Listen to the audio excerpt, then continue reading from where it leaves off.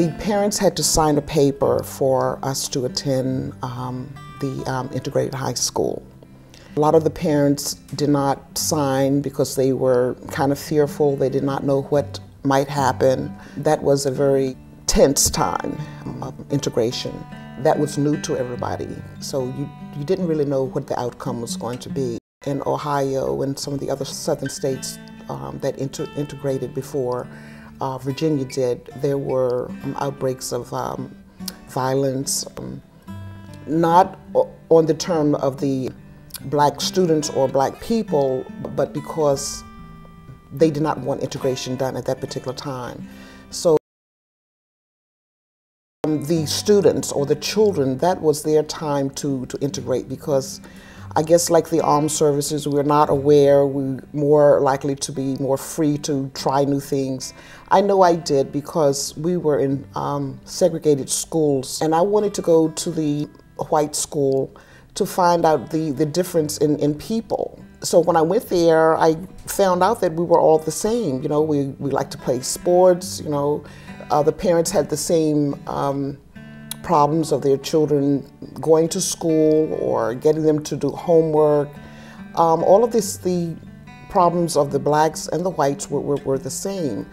But um, when, before the integration, we thought that it I thought it was a, a big difference. You know, people are people. It doesn't matter what their uh, ethnic background is.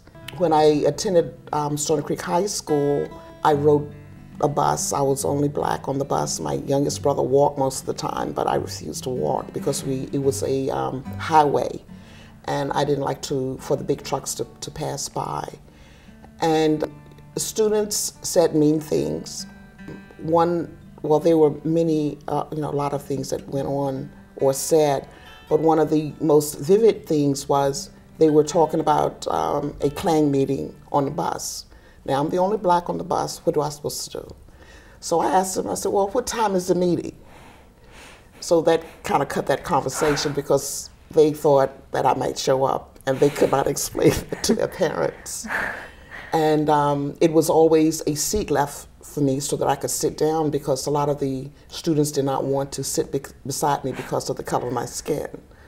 So um, it was a, a, tense moment in time. And I learned later that a, um, a lot of the people checked with my father, with my parents to see how um, I was doing at the school.